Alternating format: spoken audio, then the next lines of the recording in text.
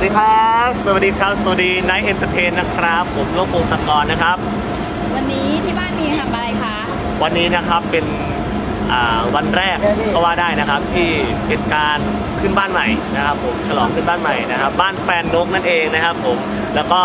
เราถือโอกาสฉลองขึ้นบ้านใหม่ทำบุญผ้าป่านะครับ เพื่อไปสร้างศาลาการเปรียญนะครับ ผมกับวัดโนนสว่างสามัคคีครับผมค่ะกว่าจะมีวันนี้ได้เป็นยังไงบ้างคะบ้านหลังนี้ ก่อนจะมีวันนี้ได้นะครับบ้านอาจจะหลังเล็กๆนะฮะ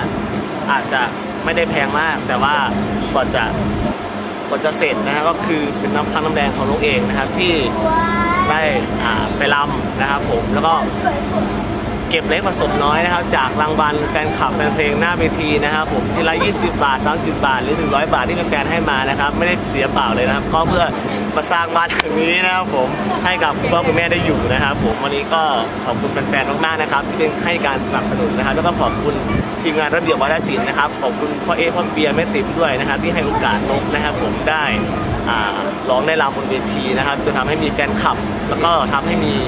บ้านแฟนนกในวันนี้นะครับ ผมขอบคุณมากๆค่ะแล้วเห็นว่าบ้านหลังนี้ชื่อบ้านแฟนนกทำไมถึงต้องใช้คำนี้คะทำไมถึงต้องใช้ใช่ไหมครับ ก็คือบ้านแฟนนกเหมือนมันเป็นคำแทนคำสำหรับนกก็คือเป็นบ้านที่ได้มาจากแฟนคลับนะครับผมซึ่งแฟนคลับของนกจะเป็นกลุ่มก็คือกลุ่มบ้านแฟนนกอย่างเงี้ยครับพี่ๆทุกคนร่วมด้วยช่วยกันนะครับผมบางคนแบบอ่า ช่วยน้องอย่างเงี้ยครับผมอาจจะแบบติดแอร์ให้นะครับช่วยน้องแต่งบ้านหรือว่าหลายๆอย่างนะครับ คือนกก็เลยใช้บ้านหลังนี้ว่าบ้านของแฟนคลับนกก็คือบ้านแฟนนกไม่ใช่บ้านของภรรยานกนะครับไม่เกี่ยวนะครับผมมันคือบ้านแฟนนกอ้าวพูดถึงภรรยาอย่างนี้ยแล้วจะมีเอ่อคู่คิดมีแฟนมีหรือมีอะไรคุยกันบ้างหรือยังคะก็ มีคุยๆหลายคน สเปคเป็นยังไงบ้างคะ โอ้เรื่องนี้ไม่ต้องถามนะครับผมคือสเปคไม่เกี่ยวอยู่แล้วครับอยู่ที่ว่าคุยกันรู้เรื่องนะครับผมแต่นี่ตอนนี้ก็ยังไม่มีครับโสดนะครับ ผมมีแต่แฟนคลับนะครับ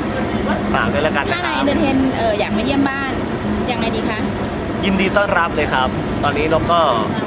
พูดถึงตอนนี้ก็คือ 80%แล้วแหละ ในการแต่งบ้านหรือหลายๆอย่าง built-in อย่างเงี้ยครับคือเราถ้าเสร็จเรียบร้อยแล้วถ้าอยากมาเยี่ยมก็ยินดีนะครับผมค่ะไหน ขอบคุณมากๆครับขอบคุณไนน์เอนเตอร์เทนครับ